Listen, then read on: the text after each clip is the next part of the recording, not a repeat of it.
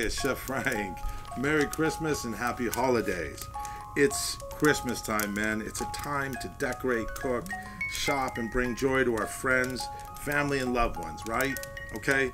Huge shout all my clients, my children, and family members. I love you all, and you know it. All right, so this one today, man, this is so special for Christmas. You saw that little choo-choo train, that bright, shiny little choo-choo train that was on the plate? Yeah, that one right there, man. This thing is so much fun. It just brings fantasy out every time I make it. Kids love them. They get to eat the raisins and the candy when we're done. I've been making these choo-choo trains for over 30 years. Look how beautiful this thing is, man. It just exudes fantasy.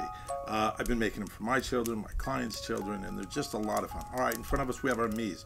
We have our Lifesavers, double mint gum, peppermint candy, and raisin packets. What we're doing here is we're simply going to glue the uh, plastic packaging around the peppermint candy with a hot glue gun. Okay, we're to fold it over. We're to mise out or prep out enough for one or two trains or as many trains as you're going to do. You want to set up an assembly line like Ford? That's you, man. Do your thing, okay? So here we are. We've got enough clearly for one choo-choo train. I just wanted to show you how it comes together. It's a little hot that glue, and you you know you get to uh, you definitely up close and personal. Okay, now this is a part you don't want the kids to do. This is something you want to definitely do for kids.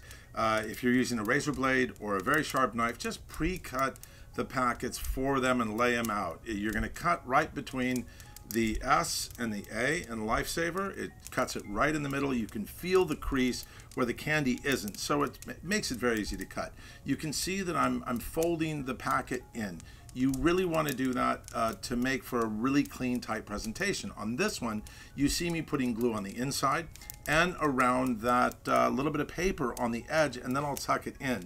Now the one that I didn't do that, that's one I would typically do for a kid's party, uh, you know, because we don't want to eat glue, right? Uh, they're definitely going to do it. Now this part right here, you're going to take the double mint gum or juicy fruit or whatever old school gum that you can get your hands on.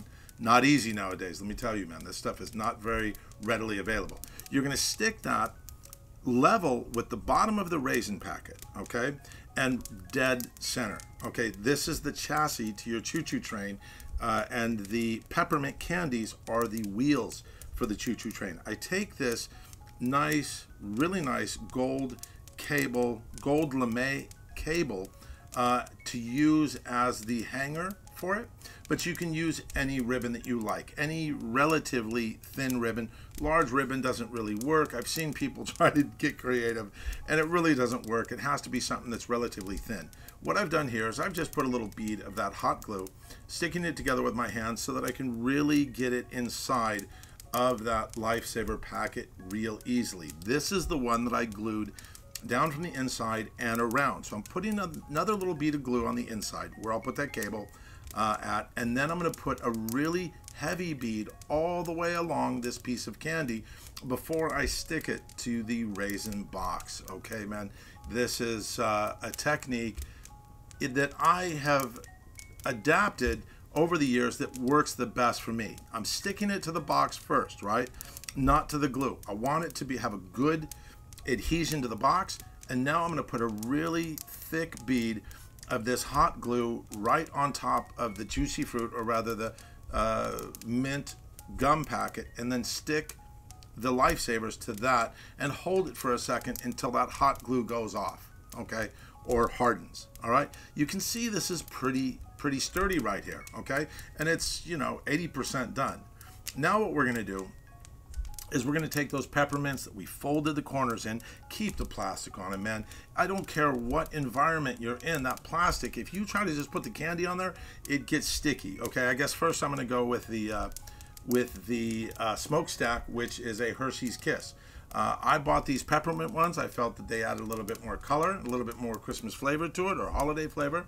And you want to stick it to the back of the uh, of the raisin packet as well as the lifesaver packet. At least I do. I want a good sturdy ornament. Okay. Now we're going to take those peppermint candy wheels. We're going to put a nice thick bead of that hot glue uh, straight across the wheel and stick it to the peppermint or winter mint uh, gum and stick it to both wheels each side or however, whatever process you want to use. But I butt the wheels all the way up against the raisin packet on the back end, okay? The other ones, you know, use your own judgment. I mean, that's what art is. It's not doing taking a picture of what I do or anyone else does. It's your rendition of it. Okay, this is just simply an idea how you can, and you might even use different candy. You could use Rolos, you use whatever you want to use, okay? Um, now, this one, we're just going to go ahead and put the wheels on the other side. Uh, but you can see, man, look at this thing, man. This thing just has the most, it has the coolest look to it, okay? It just exudes fantasy. Like I said, kids love this, man. For the the other day, for the first time, I saw like a two and a half year old kid that I made one of these and gave it to him. And for the first time, I saw a kid literally rip it apart and eat it. And it was so much fun for it. The fantasy, and then the fantasy turned to candy. So uh, check this one out, man. That looks pretty good, doesn't it? Yeah, I like this, man. That looks really good. And I guarantee you, it's going to look really good on your tree also. And anybody that you make this for, or if you use it as a place setting uh, for a Christmas dinner party and put a tag with your guest name on it, it's going to look gorgeous at the place setting. And they get to take home a gift, something that you made with your own two hands, man. Look how beautiful this thing is. It is absolutely adorable. Kids love it, adults love it. It brings out the child of all of us. It's going to look great on the tree, man. When was the last time you did a crafts project with uh, family members or friends? All right, so once again, man, Merry Christmas. Remember, there's food and then there's love. Make love for your family and friends.